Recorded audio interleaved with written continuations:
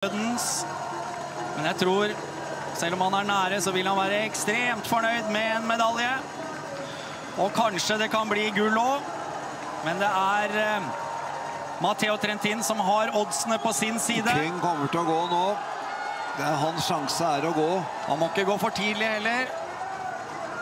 Han må gå i det han ser målseilet, tenker jeg. Og det er omtrent der. Nå kommer Moscon rundt hjørnet da, på en skikkelig fart. Ja, det er for langt unna. Er- 200 meter, og Trentin, han eh, akselererer. Ja, Pedersen! Mats Pedersen! Mats Pedersen fra Danmark!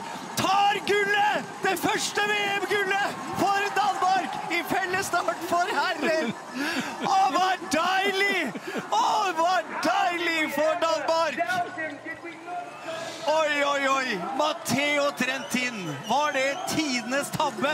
Rent taktisk var du så selvsikker at det du, i det du passerte Mats Pedersen, så var gullet ditt. Så kommer 23 år gamle Mats Pedersen tilbake! Det er helt vanvittig bra! Han tror det ikke selv. Ja, det er så bra! Og han, er, han skjønner ingenting.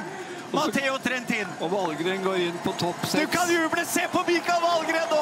Se på Mikael Valgren! Han tror nesten ikke sine egne øyne. Ja, det er så kult!